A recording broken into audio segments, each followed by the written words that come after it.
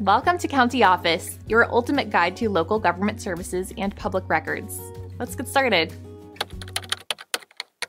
Who can vote in Muscatine, Iowa? To vote in Muscatine, Iowa, certain criteria must be met. First, a person must be a U.S. citizen. Citizenship is a fundamental requirement for voting eligibility. Additionally, the individual must be at least 18 years old. This age requirement ensures that voters are legally adults. Residency is another key factor. A person must be a resident of Muscatine, Iowa.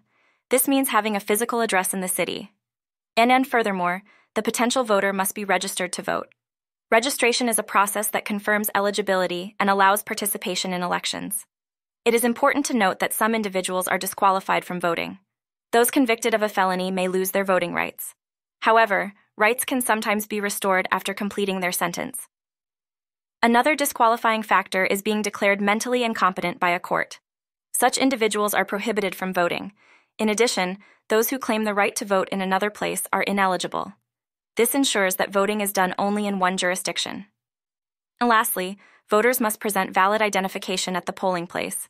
This confirms their identity and eligibility to vote in Muscatine. Acceptable forms of ID include a driver's license or other state issued ID, ANN.